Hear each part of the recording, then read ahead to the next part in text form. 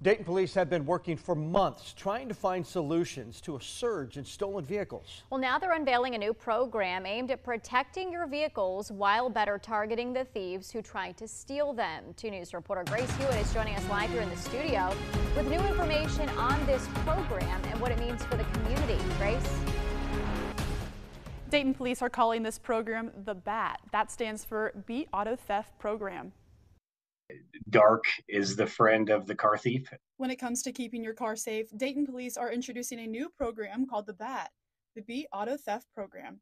You can voluntarily sign up through the city's website, filling out a consent form in order for police to properly conduct an investigation if needed. Give people the option to have the car processed by an evidence technician because that's something we are required to do as asked for consent. It's a person's car, so anything we take from the car, evidence included, we need their consent. AAA officials say by signing up for this program and giving law enforcement access to your car's data, it will help safeguard the community.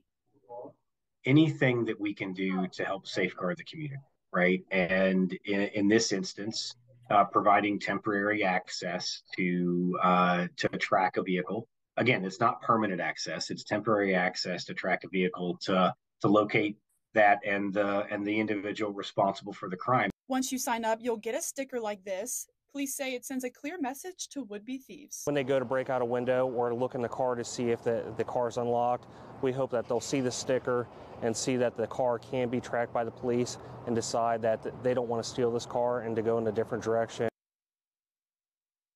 The program is for vehicles with GPS tracking capabilities. If you're unsure whether your vehicle qualifies, you can check with your vehicle manufacturer. Live in the studio, Grace Hewitt, 2 News.